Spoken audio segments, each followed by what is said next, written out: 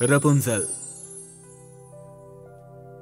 खूप खूप वर्षांपूर्वीची गोष्ट आहे. एक माणूस आणि त्याची बायको एका छोट्याशा घरात राहत होते. जे एका सुंदर बागेच्या बाजूला होते आणि ती बाग होती एका चिटकिणीची. तिच्या खिडकीत नेहमीच फुलं आणि औषधी वनस्पती उगवलेल्या दिसायच्या. पण कधीही त्या घेण्याची त्याची हिंमत झाली नाही. कारण त्याला माहीत होतं की त्याने जर फुलं आणि औषधी वनस्पती खोडण्याचा प्रयत्न केला तर चेटकिणीच्या काळ्या जादूचा बळी त्याला पडावं लागेल आणि एके दिवशी त्याच्या बायकोला ताप भरला. त्याला वाटलं त्याची बायको आता वाचणारच नाही. पण फक्त एकच मार्ग उरला होता औषधी वनस्पती रॅम्पियनचा जी फक्त चेटकिनीच्या बागेत उगवायची. तो त्याच्या बायकोचा जीव वाचवण्यासाठी कोणतीही जोखीम उचलायला तयार होता. आणि एके दिवशी त्याने चेटकिणीच्या बागेची भिंत ओलांडलीच. रेम्पियन वनस्पतीचं पान तोडून तो घरी पोहोचला. पत्नीने ते औषध खाल्लं आणि ती ठणठणीत बरी झाली. पण ती जास्त दिवस स्वस्थ राहिली नाही. ती पुन्हा आजारी पडली. ह्यावेळी तिला औषधी वनस्पतीच्या पानांची नाही तर मुळांची गरज होती. धोका पत्करून त्याने पुन्हा भिंत ओलांडली आणि मुळी काढू लागला. अचानक त्याच्या हातांची आग होऊ लागली. त्याने वर मान करून पाहिलं तर समोर चेटकीन उभी होती. तू माझ्या बागेतला रॅम्पियन औषधी चोरतोयस? पण माझी बायको ही औषधी नाही मिळाली तर मरून जाईल. त्याने विनंती केली पण चेटकिनीला त्याची दया आली नाही. जा घेऊन जा. पण चोरी केल्याची शिक्षा म्हणून मला तुझं पहिलं मूल हवंय. त्याचा जन्म होताच मी त्याला उचलून घेऊन येईन. काही दिवसांनीच त्याच्या घरी एका मुलीचा जन्म झाला. अजून तर तिने डोळे सुद्धा उघडले नव्हते आणि चेटकीन तिला घ्यायला आली. तो विसरलाच होता की चेटकिनीने कुठली अट ठेवली होती त्याच्या पुढे. तो चेटकिणी समोर गयावया करू लागला जेणेकरून ती त्याच्या मुलाला सोडून जाईल. तो खूप रडू सुद्धा लागला पण त्याच्या अश्रूंचा आणि त्याच्या विनंत्यांचा काहीच परिणाम चेटकिणीवर झाला नाही. ती मुलीला खूप निर्दयीपणे हिसकावून घेऊन गेली. त्या दिवसापासून ती तिला वेगळ्याच नावाने बोलवू लागली. रपुंझेल जे रम्पियनचंच दुसरं नाव होतं. अनेक वर्ष निघून गेली. रपुंझेल आता जगातली सगळ्यात सुंदर मुलगी दिसत होती. जेव्हा ती बारा वर्षांची होती तेव्हा ती जंगलामध्ये झुडपांनी घेरलेल्या इमारतीत राहायची. त्या इमारतीला न जिना होता ना दरवाजा. रपुंझेलच्या खिडकीत जाण्याचा एकच मार्ग होता. ते म्हणजे ते झाड जे भिंतीला बिलगलेलं होतं.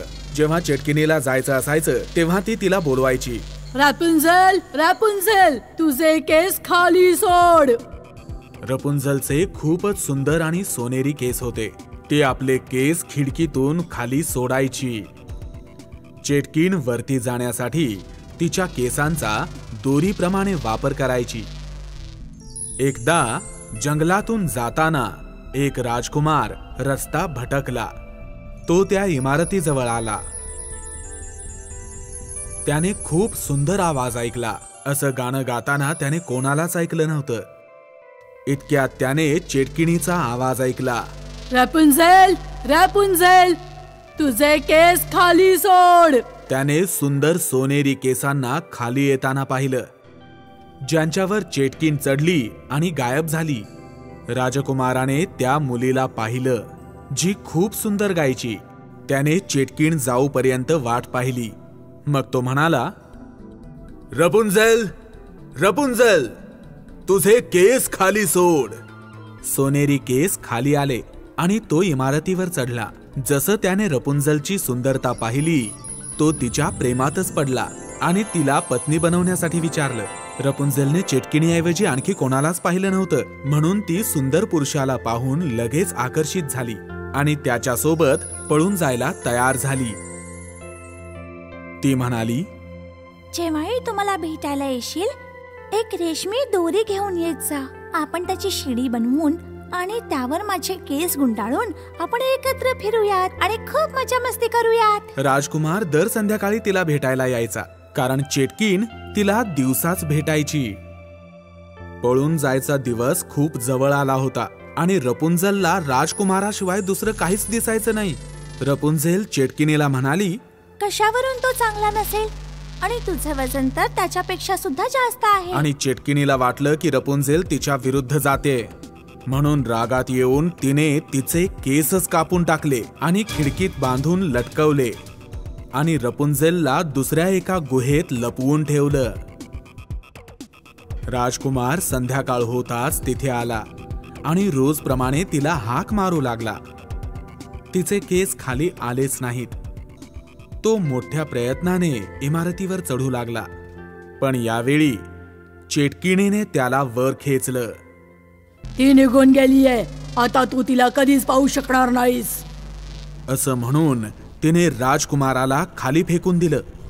तो खिडकीतून सरळ खाली काट्यांवर जाऊन पडला. त्याच्या डोळ्यांमधूनही रक्त येऊ लागलं होतं.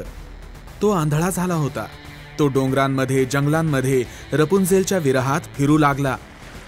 एके दिवशी तो भटकत भटकत एका दरीत पोहोचला जिथे रपुंजल राहायची. तिने जेव्हा राजकुमाराला पाहिलं ती धावत आली आणि ती रडू लागली. तिचे अश्रू राजकुमाराच्या डोळ्यांवर पडले आणि त्याचे डोळे परत चांगले झाले.